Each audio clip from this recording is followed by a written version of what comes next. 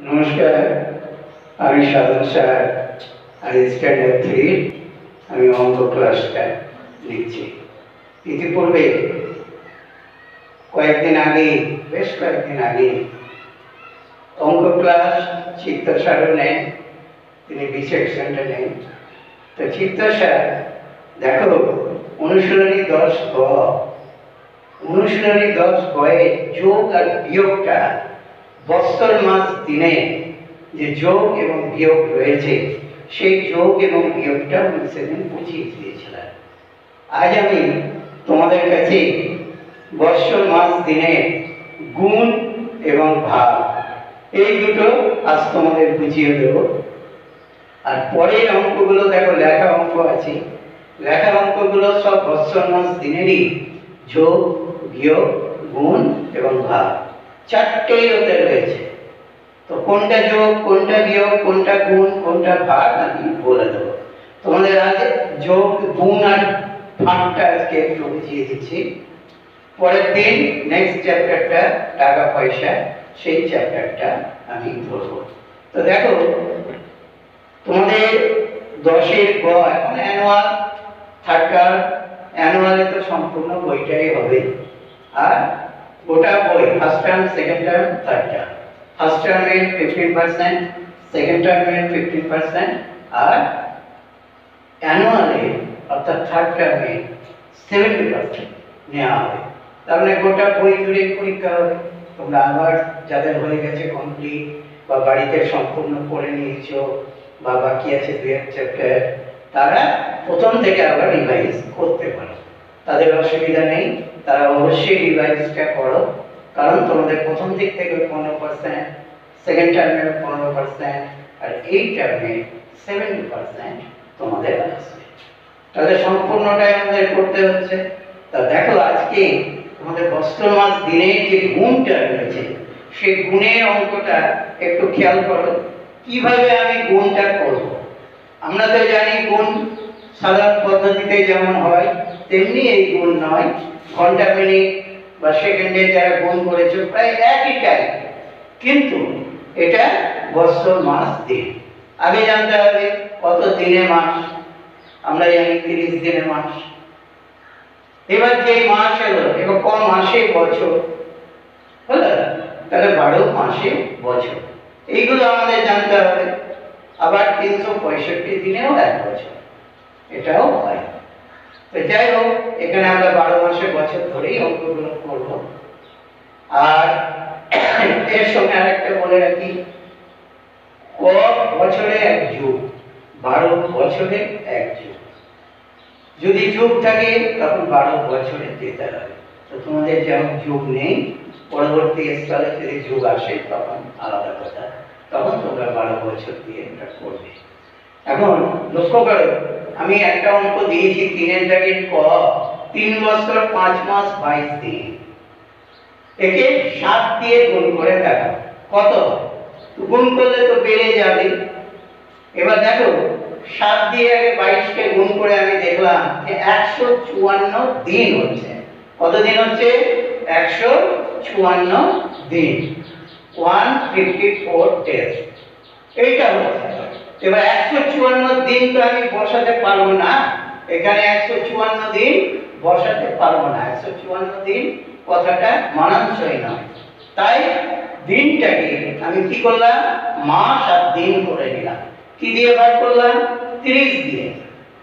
তিরিশ দিয়ে ভাগ করলাম। তিরিশ দিয়ে ভাগ করে পেলাম পাঁচ তিরিশে দেড়শো চার দিন। এই চার দিনটা এইখানে আমার আসবে। একশো চুয়ান্ন দিন, এটা কেটে গিয়ে চার দিনটা এইখানে বসবে।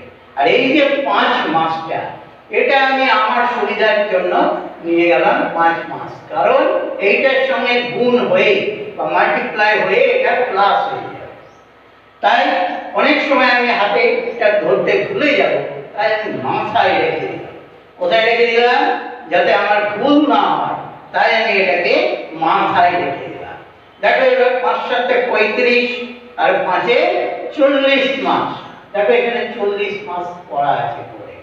এই চল্লিশ মাস ডিভাইডেড চল্লিশ মাস তো এখানে লিখতে পারব না। চল্লিশ মাস কথাটা মানানসই নয়। তাই চল্লিশ মাসকে বারো মাস দিয়ে ভাগ করে পেলাম তিন বছর চার মাস। কি পেলাম?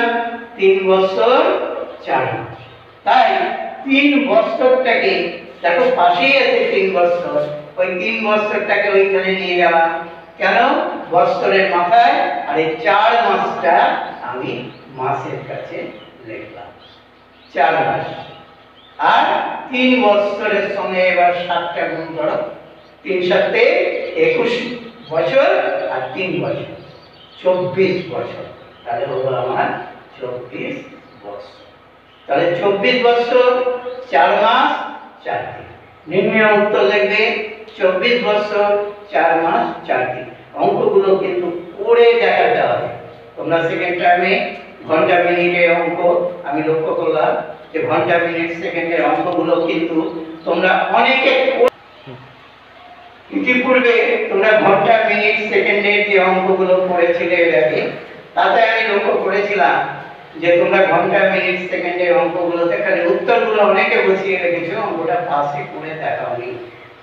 তাদের আমি অনেককে নম্বর দিইনি, বা দিলেও আমি অর্ধেক নম্বর দিয়েছি। কিন্তু তোমাদের বলে রাখছি, অঙ্কটা পাশে অবশ্যই করে দেবে। অঙ্কটা না করে দিলে কিন্তু কোনো নম্বর হবে না। এটা আগেই বলে দিচ্ছি, কোনো নম্বর দেব না। পাশে তোমাকে এইভাবে করে বুঝিয়ে দিতে হবে। আবার দেখো পরের অঙ্কটা। দশ বছর, পাঁচ মাস, পাঁচ দিন, গণিত পাঁচ। এটা আরও সহজ পাঁচ পাঁচে পঁচিশ দিন। দেখো, পঁচিশ দিন, তিরিশ দিন থেকে কম বা উনত্রিশ দিনেরও কম।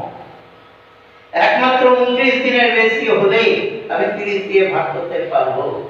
কারণ তিরিশ দিন সমান এক মাস। তাহলে তিরিশ দিয়ে ভাগ করলে আমি এক মাস। তো উনত্রিশ দিনের কম যেহেতু, তাই পঁচিশ দিনই এটা থেকে গেল। কি থেকে গেল? পঁচিশ দিন। এটাকে কিছু করতে হলো না। এবার দেখো পাঁচ পাঁচে পঁচিশ মাস পঁচিশ মাস তো কথা হয় না? এমনি বলতে পারি পঁচিশ মাস, কিন্তু পঁচিশ মাস সমান দেখো বারো দিয়ে ভাগ করে বারো গুণে চব্বিশ, এক মাস। তাহলে এটা পঁচিশ কেটে এক মাসটা পেলাম পঁচিশ দিন, আর দু বছরটা দেখো মাথায় তাহলে পাঁচ দশে পঞ্চাশ আর দুই বাহান্ন বছর এটা কেন মাথায় রেখেছি? আগেই বলেছি যে আমার মিস্টেক হয়ে যেতে পারে কোনো কারণে। হয়তো আমি নাও ধরতে পারি হাতেরটা ভুল হয়ে গেল, পাঁচ দশে পঞ্চাশ বসিয়ে রেখে দিলাম। এটা ভুল হয়ে যাবে। এটা যেমন তিন সাথে একুশ বসিয়ে রেখে দিলাম, তিনটা না থাকলে আমি যোগ করতাম না। ওইদিকে লক্ষ্য করতাম না হতো তাই এগুলোকে মাথায় এনে এনে আমি রাখলাম। কেন? আমার সুবিধা যাতে আমার ভুল না হয়। এই জন্য তাহলে নির্ণয় উত্তর কি দাঁড়াল? বাহান্ন বছর এক মাস পঁচিশ দিন। বাহান্ন বছর এক মাস পঁচিশ দিন। তোমরা লিখবে সমান বাহান্ন বছর এক মাস পঁচিশ দিন। এটা হবে নির্ণয় উত্তর। তাহলে তোমরা গুণটা মোটামুটি বুঝতে পারলে। আমি গুণটা বুঝিয়ে দিলাম। এবার দেখো ভাগের অঙ্ক আমি গুণটা মিটিয়ে দিচ্ছি? ভাগের অঙ্কটা একটু লক্ষ্য করো।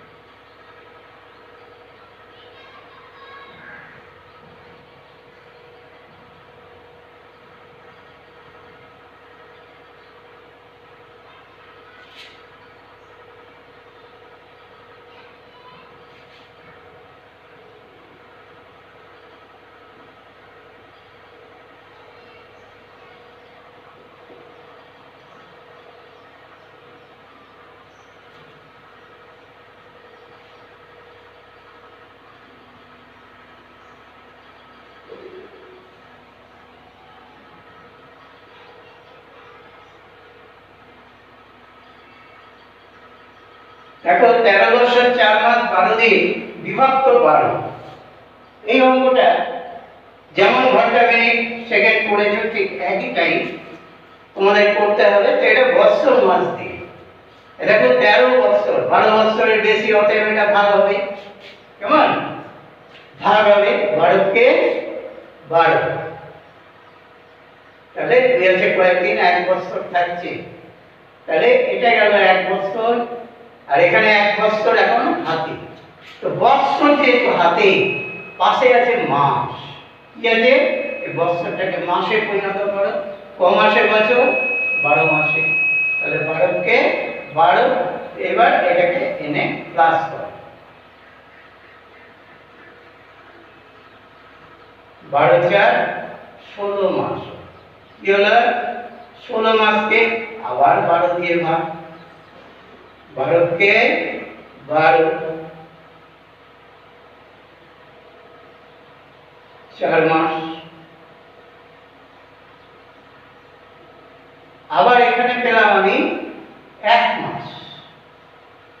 আর চার মাস এখনও হাতে আছে।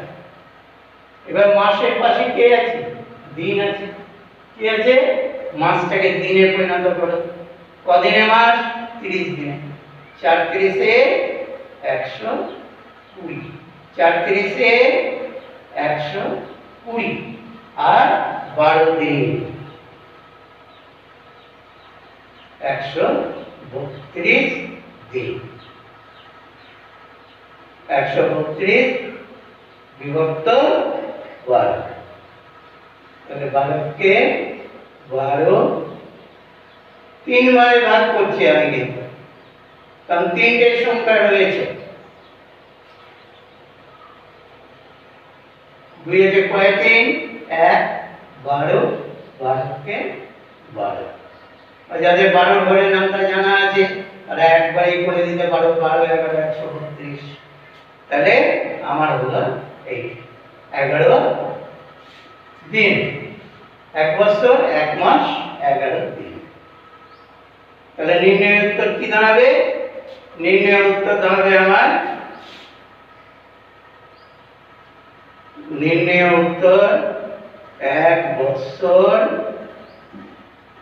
এক বছর এক মাস এগারো দিন এই হবে উত্তরটা।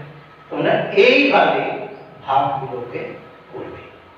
ভাগগুলো সব সময় এইভাবে করার চেষ্টা করো। অনেকে কি করো? ভাগটা এখানে করে এইখানে বসাতে যাও। এইখানে বসাবে না। এইখানে টেনে টেনে নিয়ে বসাবার চেষ্টা করো, অঙ্কটা খুব সহজ হয়ে যাবে। অনেকে এইখানেই করে দেয়, দেখেছি অনেককে এখানে ঘণ্টা মিনিট সেকেন্ড লেগে দেয়। কিন্তু ওটা উচিত নয়। ওটা করবে না। ভাগগুলোকে দরকার হলে দুবার, তিনবারে ওই বারো দিয়ে বারো দিয়ে ভাগ করেই অঙ্কটাকে করার চেষ্টা করো তোমরা। তাহলে এইভাবে তোমরা অঙ্ক করবে। আর একটা ভাগ আমি বুঝিয়ে দিচ্ছি। এটা খুব সহজ ভাগ। আট বছর, ছ মাস। আট বছর, ছয় মাস। বিভক্ত তিন আছে। সম্ভবত বিভক্ত তিন। দেখো, তিন দুগুণে ছয়, আট, দুই। তাহলে আমার থাকল দুই বছর, আর এখানে গেল দুই বছর। তা দুই বছর গণিত মাস আছে, বারো বারো দুগুণে চব্বিশ মাস। বারো দুগুণে চব্বিশ মাস যুক্ত ছ মাস। যে হলো তিরিশ মাস। তিরিশ মাসকে এবার তিন দিয়ে ভাগ করলে তিন দশে তিরিশ মাস। তাহলে আমি কি পেলাম? দু বছর দশ মাস। তাহলে নির্ণয় উত্তর কি হবে এটা? দু বছর দশ মাস। নির্ণয় উত্তর দু বছর দশ মাস। এইভাবে তোমরা এই অঙ্কগুলো অবশ্যই করবে। আর পরের অঙ্ক, দেখো লক্ষ্য করো, তোমাদের বইয়ে রয়েছে লেখা অঙ্ক। পাঁচের ক, খ, গ ঘ পাঁচের ক, দেখো পাঁচ বছর, সাত মাস, পনেরো দিন কল্পনার বয়স যখন, এত তখন তার ছোট বোন আলপনার জন্ম হয়। আলপনার বয়স এখন কত? তাহলে আলপনার বয়সের সঙ্গে কল্পনার বয়স যোগ করে দিতে হবে। কি করতে হবে? যোগ করে দিলে এই বয়সটা বেরিয়ে যাবে। হ্যাঁ? তোমার দাদার সঙ্গে তোমার বয়স যোগ করলে তবেই না দাদার বয়সটা বেরোবে। সেই রকম।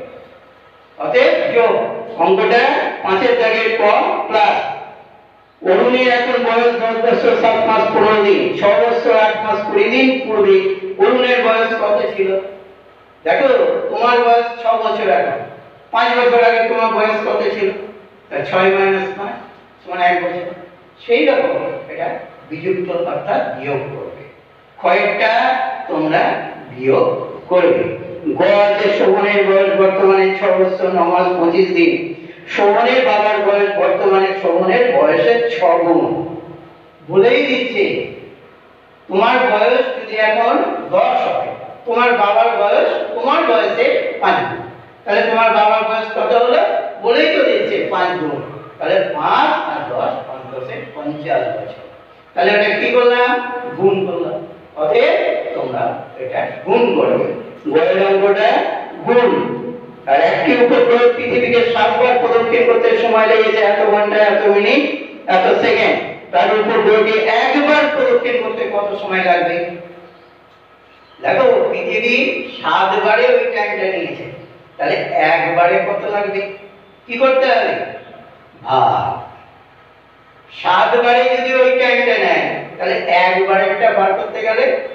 আমি কি করব? ওই অঙ্কটাকে ভাগ করব। কি দিয়ে? ওই ঘণ্টা মিনিট অঙ্ক এটা, ঘণ্টা মিনিট সেকেন্ডে ওই সাত দিয়ে ভাগ করবে। তাহলে অঙ্কটা মিলে যাবে। আচ্ছা। বারো কিমি রাস্তা তৈরি করতে হবে। রাস্তাটি এক মাস ছ দিনে এক কিমি রাস্তা তৈরি হলে বারো কিমি রাস্তা তৈরি করতে কত সময় লাগবে? তাহলে বারো কিমি রাস্তা আর এক মাস ছ দিনে এক কিমি রাস্তা তাহলে বারো কিমি করতে কি লাগবে? ওইটাকে গুণ করে দিও। ওই অঙ্কটাকে গুণ করে দিও বারো দিয়ে। কি করতে হবে? বারো দিয়ে গুণ করতে হবে। ওই রাস্তাটি এক মাস ছ দিন, এক কিমি যদি হয়, তাহলে বারো দিয়ে এক মাস ছ দিন ইন্টু টুয়েলভ গুণ করে দেবে ইন্টু বারো দিয়ে তাহলে এই অঙ্কটা। পরবর্তী দিন যদি না পারো কেমির কোনো অসুবিধা হয়, তাহলে তোমরা আমার সঙ্গে যোগাযোগ করতে পারো। বা চিত্তর স্যারের সঙ্গে যোগাযোগ করলেও হবে, কারণ আমরা দুজনেই অঙ্ক নিই। হ্যাঁ আমার মোবাইল নাম্বার যথাক্রমে আমি বলে দিচ্ছি। দেখো, আটাত্তর, বাহাত্তর, ছিয়াত্তর, ছাব্বিশ, আশি। এটা হলো আমার মোবাইল নম্বর। যদি কোনো অসুবিধা হয় তো বলবে। আমি তখন নম্বরটা বুঝিয়ে দেব। এই নম্বরটা দিয়ে দেবে অবশ্যই তোমরা জানাবে। আজ এই পর্যন্তই। বাবা সাবধানে থেকো তোমরা। খুব সাবধানে থাকবে। রাস্তাঘাট চলাফেরা করবে। মাস্ক ছাড়া চলবে না। সকলেই মাস্ক নিয়ে চলাফেরা করো। আর স্কুলের দুর্দিনের কথা চিন্তা করে গার্জেনদেরকে তোমরা অবশ্যই বলবে। যে মাস্টারমশাইরা খুব দুর্দিনের মধ্যে আছে? আর তোমাদের সেকেন্ড টার্ম কোশ্চেন অলরেডি দেওয়া শুরু হয়ে গেছে। আর কয়েকদিন আছে সেকেন্ড টার্মে কোশ্চেন দেওয়া হবে। তোমরা অবশ্যই সেই কোশ্চেনগুলো সংগ্রহ করো এবং যারা ফার্স্ট টার্মে জমা দিয়েছ কোশ্চেনগুলো সংগ্রহ করে খাতায় জমা দিয়ে ফার্স্ট টার্মের খাতাটা তোমরা নিয়ে যাবে। আজ এই পর্যন্ত নমস্কার।